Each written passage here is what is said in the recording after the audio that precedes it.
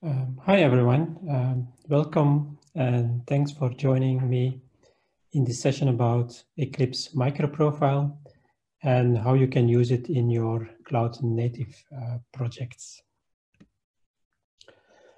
So we all know uh, the microservice architecture where you have uh, a set of loosely coupled um, services which are focused on a business domain. So it's not about size. Uh, microservices don't need to be one or two classes uh, uh, in size, uh, but they need to focus on a certain business domain. Uh, all functionality related to um, the products, the invoices, or um, the stock management, for instance, they can all go into one service. And when a request needs to access multiple services, then you contact those different services uh, within that single request. Microservices are a great thing, but not for all projects, also because there are um, some issues related to it, mainly because you are in a distributed environment and you all know what can happen in a distributed environment, uh, network issues, um, connectivity issues with the database, um, which are propagated to, to all the other services or maybe even slow res uh, responding services. So for mitigating uh, those kind of issues, uh, we have a set of tools available and um, those are also implemented in that um, microprofile specifications. What I'm talking about as example uh, today, today as an example will be around the configuration. Um, how can you make sure that the um, all the microservices have the correct configuration, that configuration changes can be propagated to the different microservices. And we are going to look into um, the issue of the routing. Um, service A can call service B, but um, the question is then, if you're in production, for instance, um, why does a certain request take so, so much time? Which services does it visit? Um, is there an issue um, with that one service? Maybe it is overloaded or is there something else? Those things we will address more later in the demos uh, as an example um, so that you can have a feel what is possible with those micro profile specifications. Uh, so in general, this is the idea of uh, an architecture. It is uh, different variations are of course possible, but the client only knows the API gateway and depending on the URL, it forwards to the correct microservice, which on his, on his term, as I said, connects other services, remote services. So you need service discovery management. Um, and an important thing, of course, is also the um, the security. Yeah? So on top you have there the identity provider, which um, identifies uh, your user and gives you back a token so that um, the um, information about the user can be propagated through those different services. Um, but more on that uh, in a presentation tomorrow. Um, so, so I'm Rudy de. Um, I'm working for the Payara team as a, as a, as a, as a service member, so um, answering questions from customers about um, about the product and uh, and investigate into possible issues they have. But I'm also developer advocate doing presentations like this one. And I'm also involved as a committer in the microprofile specification itself. So part of it, um, I'm also responsible for what, for what you see in the microprofile specifications and also working um, in some of the Jakarta EE specifications. So as mentioned, I'll show you a few topics around microservices and uh, micro profile and how you can use it. And especially three areas today I'm going to focus on is the, is the configuration and how can you push those values across all your services. And we're going to use the etcd um, product for that, that which is um, used in many products for storing um, configuration and, and, data. I'm going to show you an example about uh, tracing, uh, what, uh, um, how you can see what your request is doing. And I'm going to use there the product Jaeger um, as, as an example. And the last one will be the metrics uh, for finding out what is my system doing. Is there, for instance, a high CPU at one of my microservices?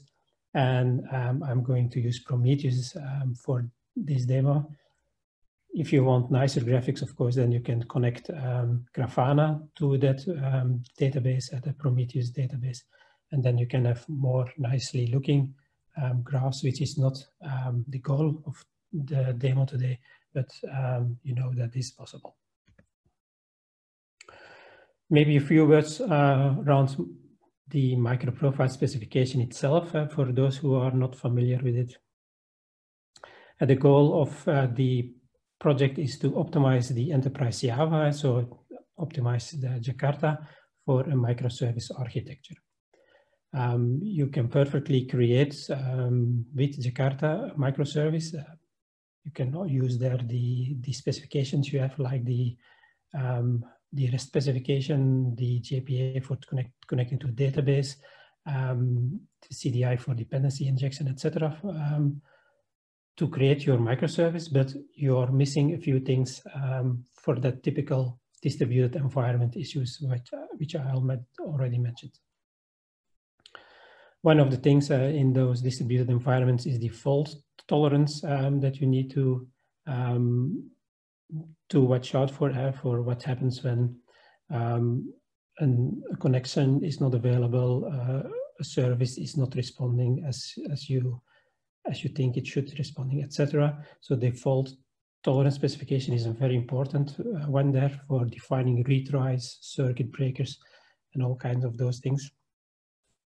Um, but as I said, going to uh, focus on metrics and the, um, the open tracing in this one.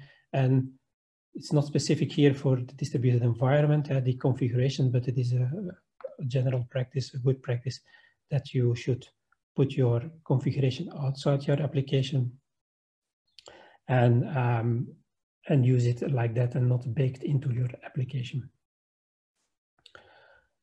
Uh, the configuration outside of your application is even one of those 12 factors in the 12 factor application um, list there. So it is a best practice. Um, so it is sure it is for the, um, the microservice, microservice world.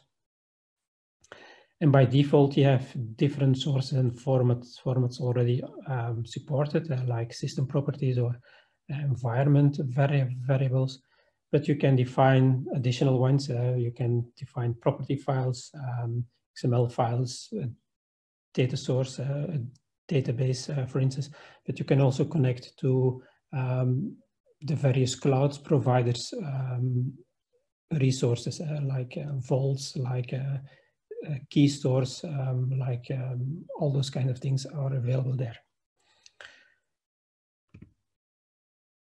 Few words on the terminology. Uh, the config source is um, within microprofile config is the possible source uh, of conf of that configuration data. So uh, like a property file or uh, a system variable.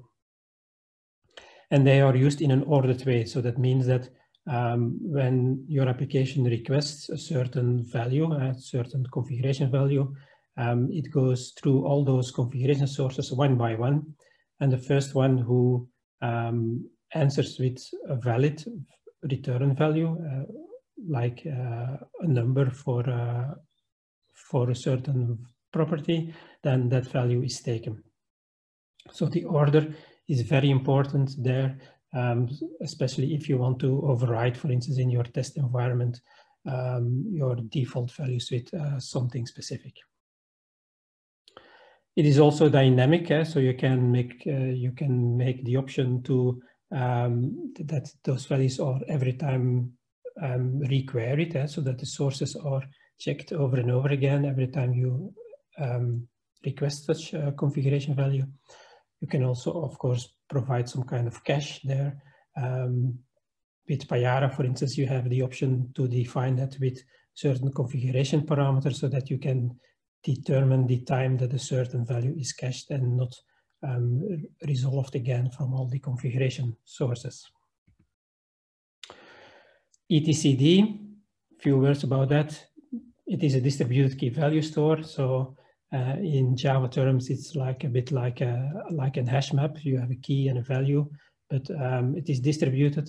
It, it is um, available on on several instances within your uh, environment. It uh, it those values are uh, copied from one instance to another. So to make sure that um, those values are always available and um, at all time you can request those values.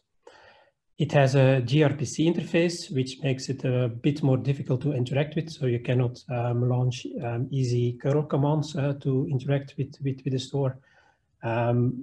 Um, but there are um, tools and um, to, to interact with, with the store. There um, is a, a, Java client, a jar artifact available that you can use to read and write data into that store, for instance. And there is also microprofile config extension um, um, available, which means that you can just add that config uh, that um, dependency to your project and you can use that um, etcd store. So let's see how that um, goes into it uh, with, with the demo. So this is a, a classic um, simple uh, kind of Hello World application where I added the um, the dependency for the etcd here as an, uh, a microprofile config extension.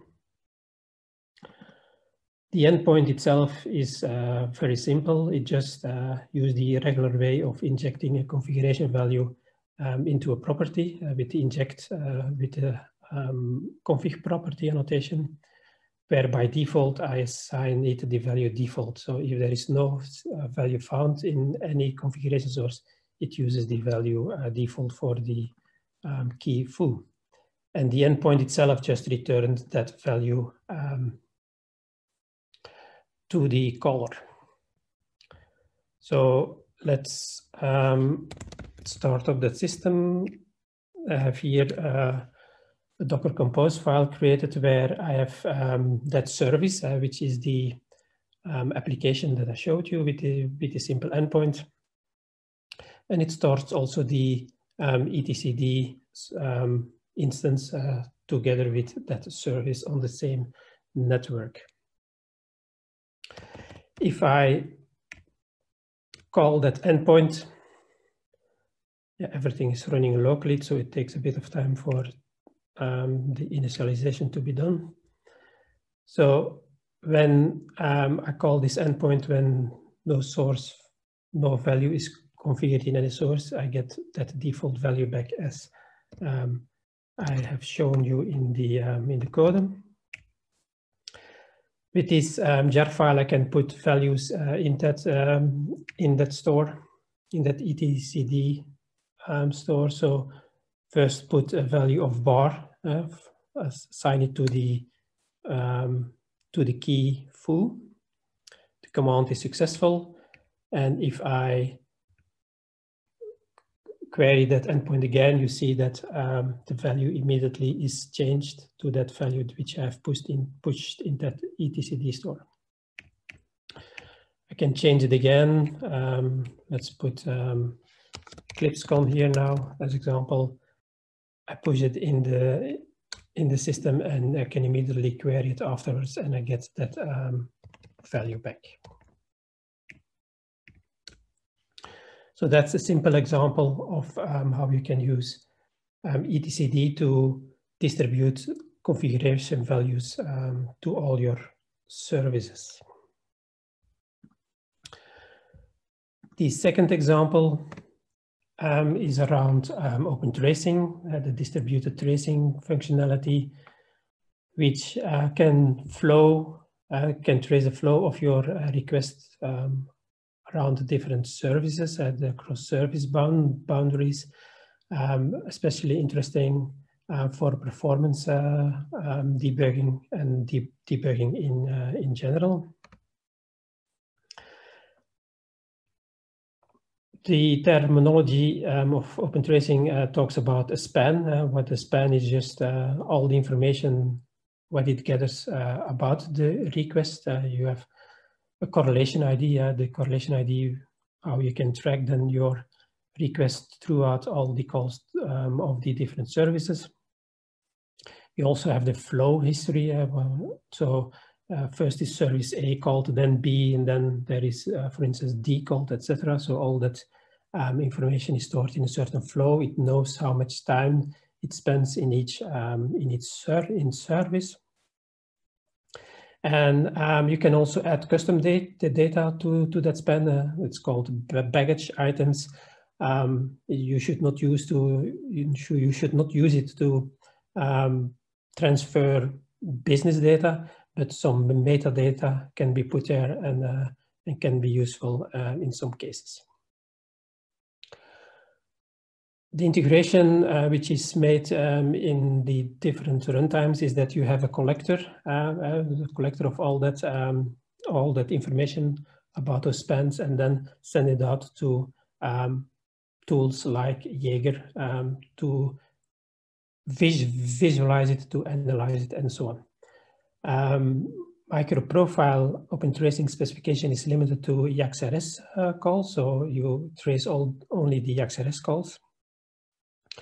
Um, the Payara integration is uh, more um, extensive, so that means I can also uh, trace uh, calls to certain CDI beans or EJB beans within um, your um, REX REST um, request you can trace even servlets, um, remote EJB calls, etc. So you, you have a, a much more uh, scala of uh, of tracing possibilities uh, with uh, with Payara. So Jaeger is uh, is a very well-known product. So um, it's also based on that open tracing specification. So there is an easy way to integrate the microprofile and you, the um, SPI that you have that you have available in many products uh, to connect to Jaeger, for instance, so that all that information can be displayed in Jaeger, which has GUI to um, investigate all those spans. And it has multiple backends possible in Jaeger, so you can have an in-memory database or you can store it uh, in a proper database. I again have a simple um, example available where I have two services, uh, service one calls service two. Um, in service one, there is no real functionality, just calling service two. And I'm using the um, one of the other specifications of microprofile for it, uh, the, the REST client builder. Um, and that uh, can be used to call your other endpoints um, more in a Java natural way. So um, this looks like a regular Java call within the same um, JVM. But if you look um, to it, just an interface where you define that that method must be called as a JAX-RS get uh, request. And in fact, based on that interface, um, the client builder um, is creating a proxy around that interface so that um, a certain external service can be called on this URL. So that's a very nice uh, and nice way to call other endpoints um, that you do not need to do to be coding the low level things uh, like um, connect to that endpoint, um, convert all the parameters to JSON, um, send it over and read the response back, etc. It's all done behind the screens by that proxy and, it, and can be called by this simple um, Java method. The second service just waits uh, a few milliseconds between 200 and 700 milliseconds and then just return the value done. Um, the main point here is that you can see and that you can follow the call from service one to service two.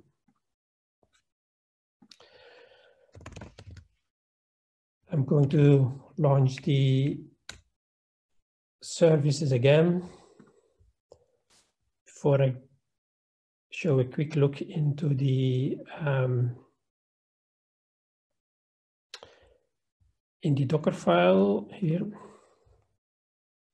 where I just start from our Payara micro um, image, where I had that Jaeger integration. So we have uh, an integration um, available so that the information can be stored um, into Jaeger. Um, if that's not available, if you do not put such an, an additional jar file, then the information is stored within um, Payara itself and you can uh, inspect it there. And um, I'm just adding um, a simple command file who activates that request tracing so that um, um, traces are collected and sent to Jaeger. I can again curl that um, endpoint, that serve, that service one endpoint, and I just get that response from that service two, which is done. Um, but in the meantime, um, we have now some traces available within Jaeger. So let's open that Jaeger UI. Where we look for all the traces of that, ser that service went. For the moment, uh, we have only one of them. And we see that this, uh, this, this service one is called uh, by a get one. It's then transferred internally um, to the uh, to the real code one, and then there is service two called. Uh, and you see also the methods which are um, corresponding to that uh, to that call. You see here quite some time gaps between um, the different calls, and that is due to that initialization of those proxies. Because when I um, call it the second time, and I look for all the traces, this one is now a more a recent one. And then you see that the control is transferred immediately um, from one from one service to another ser service.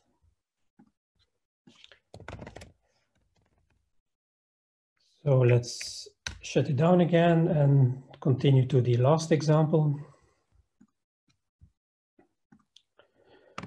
And the last example um, tell you tells you something about the CPU you use it, but in general you can um, show any kind of metrics uh, in uh, in the system or um, values that you like to uh, follow.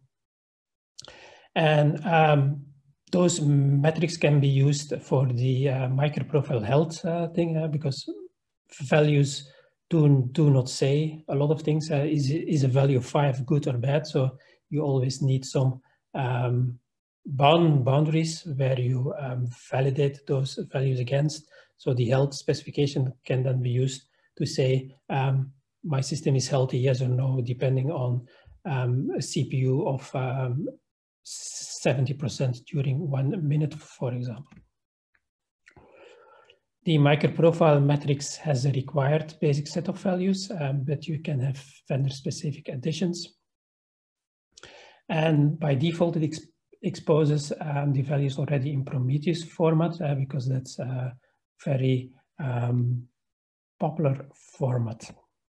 And again, as I mentioned, you can um, use that also in Grafana to make some nicer looking um, graphs than um, I'm going to do with uh, Prometheus um, itself. So the service here is of no importance. It is, uh, in fact, um, an implementation of calculating very large um, numbers, which are also prime values.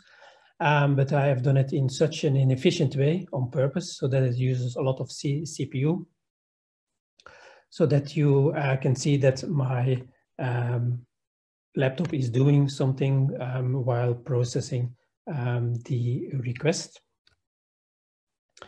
So it takes a few seconds until he has um, come up with a value, a reasonable large value, which is verified to be uh, a prime value.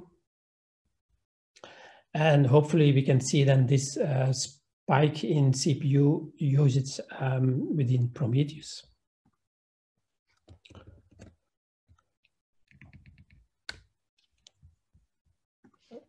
So this is the GUI of um, Prometheus, where we can graphically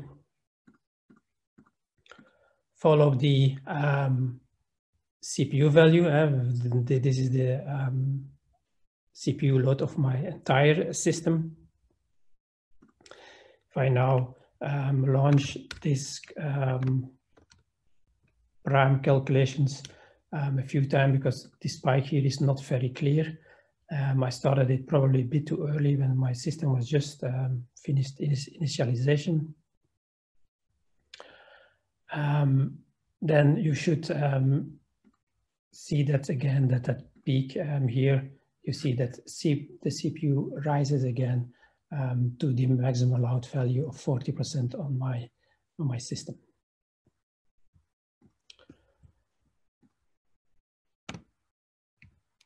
So short conclusion, uh, the micro profile specification can be used uh, for um, adding to your Jakarta applications, uh, especially useful in those distributed environments, but yeah, can be used in all kinds of, of situations. It does need to be only in cloud native applications. And you, as you have seen, there is an easy out of the box integration with um, those kind of things. Um, not sure if we have time for questions or are there any questions?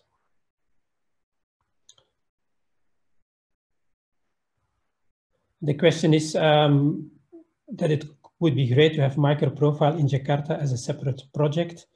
Um, but there are indeed, there is indeed discussion about how the two can work together. They probably will stay uh, as a separate, um, a separate project, um, but there will be some kind of collaboration between the two so that they are more aligned with each other so that it's easier um, to be used um, in a certain product.